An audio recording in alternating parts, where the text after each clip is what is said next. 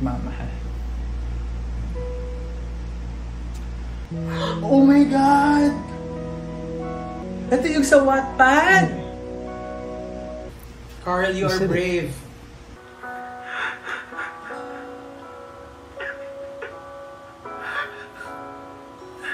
He finally admitted it!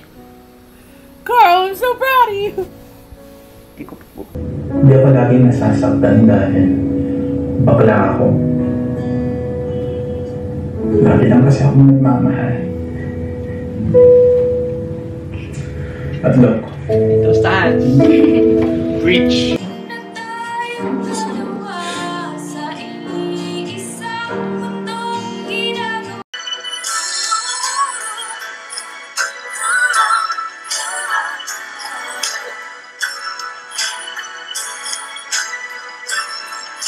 Keep going! Keep going! Keep going! Keep going!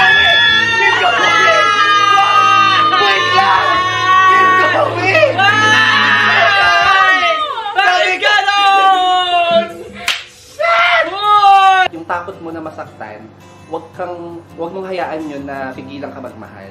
Kasi nga 'di ba lagi ko sinasabi, don't let fear stop you from loving. all we could really do now is to support Carl and be at his side and help making Carl ready for the outside world when he decides to come out.